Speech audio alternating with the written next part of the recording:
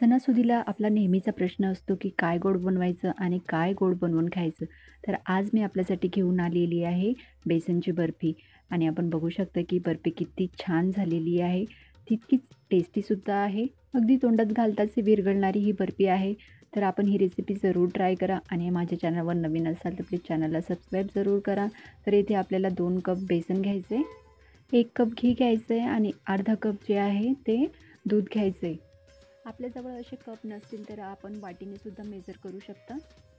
आणि हे वाटीने मेजर करायचं म्हटलं तर एक वाटी तूप टाकायचं आहे कढई जी आहे ती मी पहिलेच गरम करायला ठेवलेली होती आणि तूप गरम झाल्यानंतर फ्लेम जी आहे आपल्याला मीडियम ठेवायची आणि जे बेसन आहे ते यात घालून घ्यायचं आहे आपण ही मिठाई जी आहे आता रक्षाबंधन येते तेव्हासुद्धा ट्राय करून बघू शकता.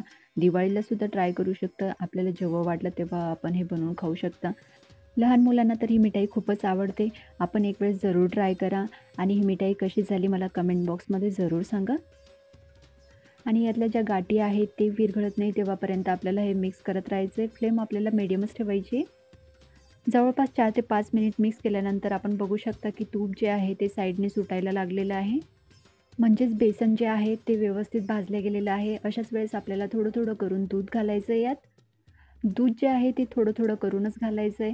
कारण जे बेसनची बर्फी आपण बनवतो आहे त्यात दाणेदारपणा हवा आहे आपल्याला त्यासाठी अगदी थोडं थोड्या प्रमाणातच दूध टाकायात. आणि कंटिन्यू आपल्याला हे हलवत राहायचं आहे. जे बाकीचं दूध उरलेलं आहे ते सुद्धा यात घालून घेऊया आणि व्यवस्थित मिक्स करून घेऊया.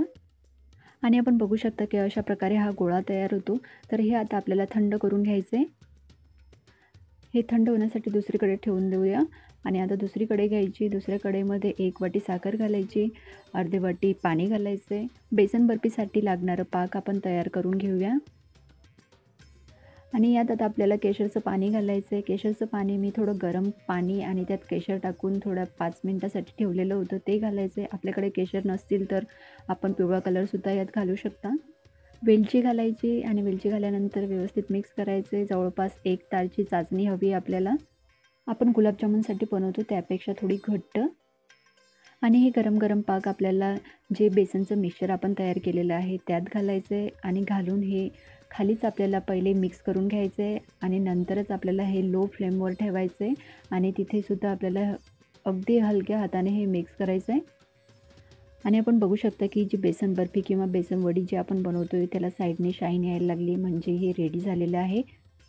आता गॅस ऑफ करायचा आहे आणि ऑफ केल्यानंतर एका ट्रेमध्ये किंवा परातीमध्ये हे काढून घ्यायचं आहे पहिले मी तेल लावलेलं आहे ट्रेला तेल किंवा तूप आपण काही लावू शकता आणि अशा प्रकारे टॅप करून घ्यायचं आहे अशा प्रकारे आपल्याला हे सेट करून घ्यायचं आहे हे गरम असताना सेट होईल नंतर होणार नाही म्हणून गरम असताना सेट करा. आणि यावर आपण काजू बदाम जे आपल्याला ड्रायफ्रूट्स आवडत असतील ते घाला. आणि ते सुद्धा थोडे टॅप करून घ्यायचे. म्हणजेच ते सुद्धा सेट होतील व्यवस्थित. आणि अर्धा ते एक तासापर्यंत हे आपल्याला थंड होऊ द्यायचं आहे आणि ही बर्फी चांगली थंड झालेली आहे आणि आपण बघू शकता की किती छान सेट झालेली आहे. कलरसुद्धा चेंज झालेला आहे. आपण बघू शकता. आणि आपल्याला आवडेल त्या शेपमध्ये आपण कट करू शकता हे आणि आपण बघू शकता की किती मस्त सुंदर अशी ही बर्फी तयार झालेली आहे. आपण मार्केटमध्ये घ्यायला गेलं की बर्फी खूप महाग मिळते तर आपण ही रेसिपी जरूर ट्राय करून बघा आणि मला कमेंट बॉक्समध्ये सांगा की बर्फी कशीच झाली. आणि प्लीज माझ्या चॅनलला सबस्क्राईब करा व्हिडिओला लाईक करा शेअर करा. तर चला मग भेटूया नवीन व्हिडिओमध्ये